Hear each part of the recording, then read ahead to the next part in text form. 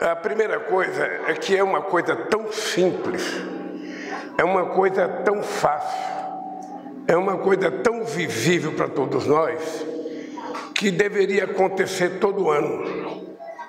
Mas, lamentavelmente, no Brasil, tivemos um período muito obscuro nesse país, em que os entes federados não conversavam entre si.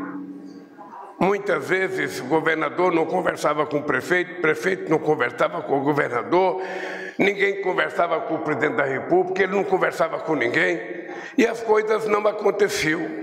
É por isso que na pandemia as nossas crianças tiveram um prejuízo enorme na questão educacional.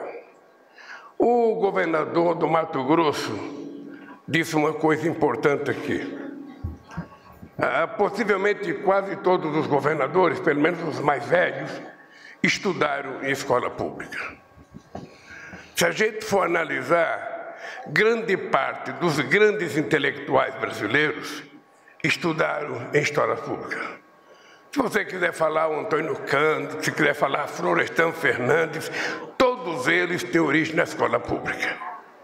O que aconteceu que a escola pública decaiu tanto que hoje, se você chegar numa cidade e perguntar para o prefeito a tua educação é boa, ele vai dizer que é.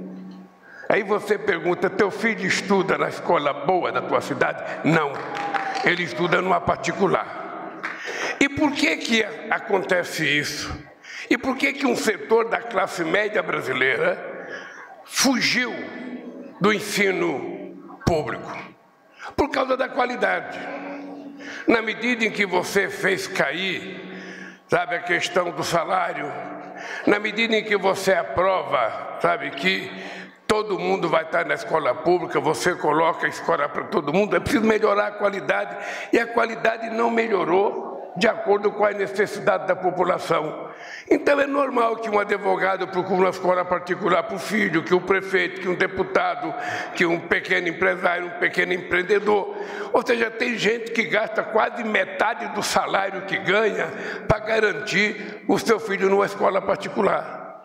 Porque a escola pública não atingiu ainda esse grau educacional que a gente entende que seja perfeito para o nosso povo.